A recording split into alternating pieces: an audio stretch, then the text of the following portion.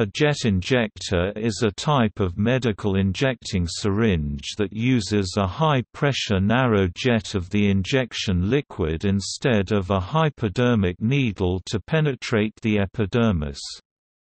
It is powered by compressed air or gas, either from a pressure hose from a large cylinder, or from a built-in gas cartridge, small cylinder, or spring. Jet injectors were used for mass vaccination, and as an alternative to needle syringes for diabetics to inject insulin. As well as health uses, similar devices are used in other industries to inject grease or other fluid. The term, hyperspray although better known within science fiction, originates from an actual jet injector known as the hyperspray and has been cited within several scientific articles.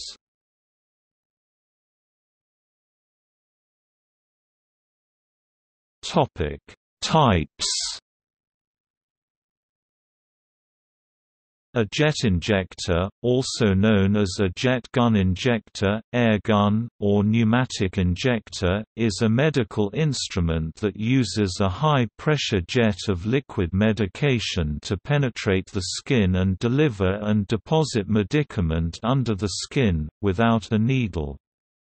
Jet injectors can be single-dose or multi-dose jet injectors. Throughout the years jet injectors have been redesigned to overcome the risk of carrying contamination to subsequent subjects. To try to stop the risk, researchers placed a single-use protective cap over the reusable nozzle. The protective cap was intended to act as a shield between the reusable nozzle and the patient's skin. After each injection the cap would be discarded and replaced with a sterile one. These devices were known as protector cap needle-free injectors or PCNFI. However, a safety test by Kelly and colleagues 2008 found a PCNFI device failed to prevent contamination. After administering injections to hepatitis B patients, researchers found hepatitis B had penetrated the protective cap and contaminated the internal components of the jet injector, showing that the internal fluid pathway and patient contacting parts cannot safely be reused. Researchers developed a new jet injection design by combining the drug reservoir, plunger and nozzle into a single-use disposable cartridge. The cartridge is placed onto the tip of the jet injector and when activated a rod pushes the plunger forward. These devices are known as disposable cartridge jet injectors or DCJI. The International Standards Organization recommended abandoning the use of the name jet injector, which is associated with carrying a risk of cross-contamination and rather refer to newer devices as needle-free injectors.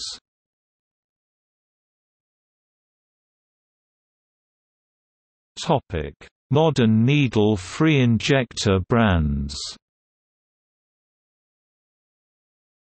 The Biojector 2000 is a make of gas cartridge-powered jet injector. It is claimed by its manufacturer that it can deliver intramuscular injections and subcutaneous injections up to 1 ml.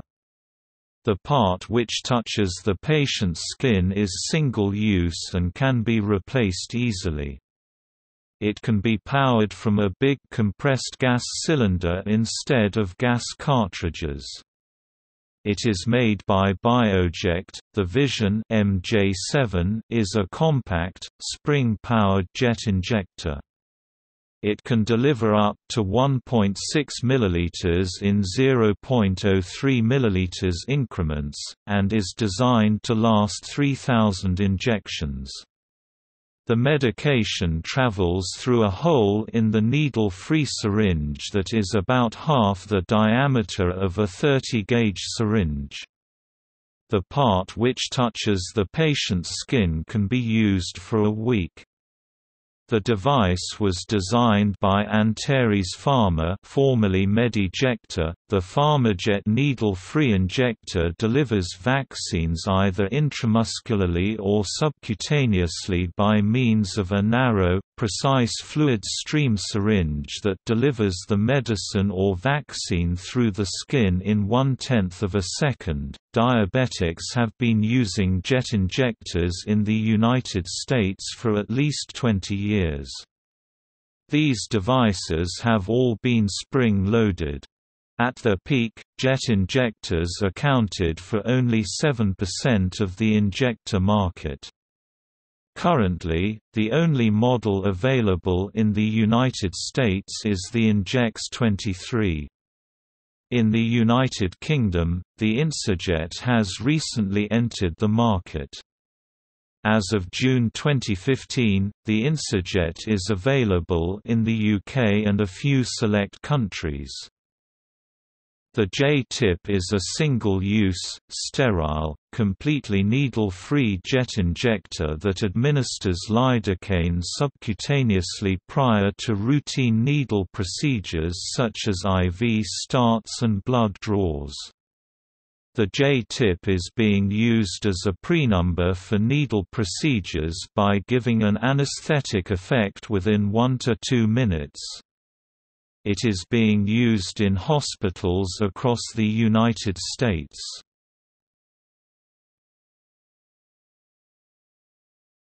Topic: Concerns. Since the jet injector breaks the barrier of the skin, there is a risk of blood and biological material being transferred from one user to the next. Research on the risks of cross-contamination arose immediately after the invention of jet injection technology. There are three types of inherent problems with jet injectors.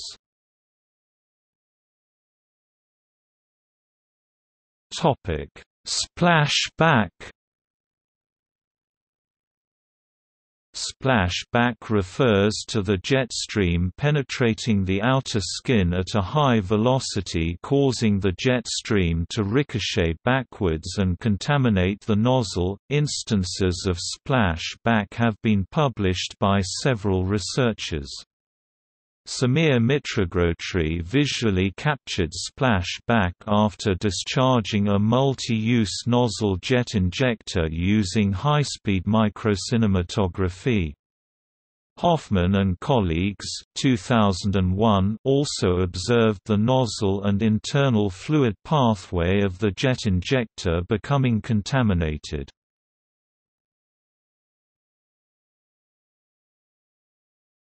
Topic Fluid suck back Fluid suck back occurs when blood left on the nozzle of the jet injector is sucked back into the injector orifice, contaminating the next dose to be fired. The CDC has acknowledged that the most widely used jet injector in the world, the PED-O-Jet, sucked fluid back into the gun.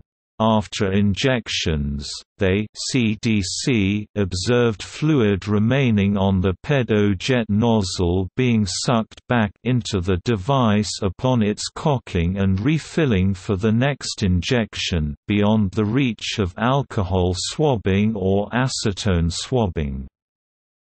Stated Dr. Bruce Weniger. Topic Retrograde flow Retrograde flow happens after the jet stream penetrates the skin and creates a hole, if the pressure of the jet stream causes the spray, after mixing with tissue fluids and blood, to rebound back out of the hole, against the incoming jet stream and back into the nozzle orifice. This problem has been reported by numerous researchers. Hepatitis B can be transmitted by less than one millionth of a milliliter, so makers of injectors must ensure there is no cross-contamination between applications. The World Health Organization no longer recommends jet injectors for vaccination due to risks of disease transmission. Numerous studies have found cross infection of diseases from jet injections. An experiment using mice, published in 1985, showed that jet injectors would frequently transmit the viral infection LDV from one mouse to another. Another study used the device on a calf, then tested the fluid remaining in the injector for blood. Every injector they tested had detectable blood in a quantity sufficient to pass on a virus such as hepatitis B. From 1984–1985 a weight loss clinic in Los Angeles, California administered human chorionic gonadotropin with a Med-E jet injector. CDC investigation found 57 out of 239 people who had received the jet injection tested positive for hepatitis B. In addition to transmission between patients, jet injectors have been found to inoculate bacteria from the environment into users. In 1988 a podiatry clinic used a jet injector to deliver local anesthetic into patients' toes. Eight of these patients developed infections caused by Mycobacterium chelonae. The injector was stored in a container of water and disinfectant between use, but the organism grew in the container. This species of bacteria is sometimes found in tap water, and had been previously associated with infections from jet injectors.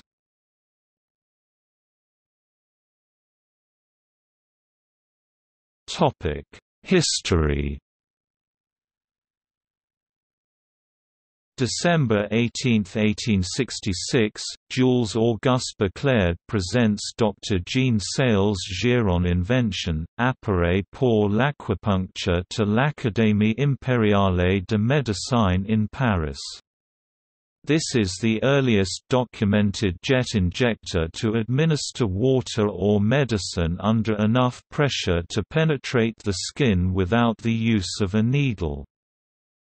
1920s, diesel engines begin to be made in large quantities, thus the start of serious risk of accidental jet injection by the fuel injectors in workshop accidents. 1935, Arnold K. Sutermeister, a mechanical engineer, witnessed a worker injure his hand from a high-pressure jet stream and theorizes of using the concept to administer medicine. Sutermeister collaborates with Dr. John Roberts in creating a prototype jet injector. 1937, first published accidental jet injection by a diesel engine's fuel injector.